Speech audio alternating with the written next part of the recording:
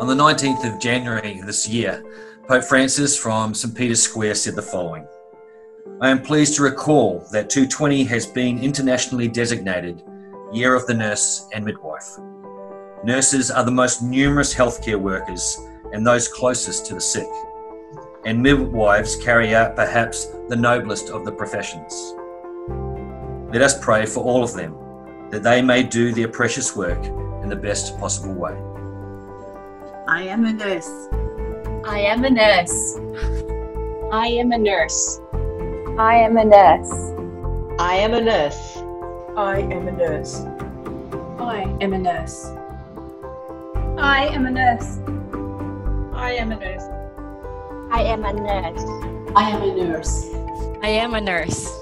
I am a nurse. I am a nurse.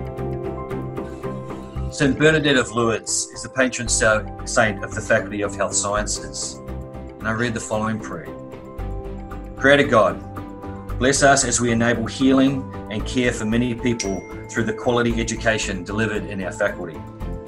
Give us wisdom to discern the fields of research which will best serve the common good, and may the Spirit of St. Bernadette encourage and help us to acknowledge that everything good comes from you.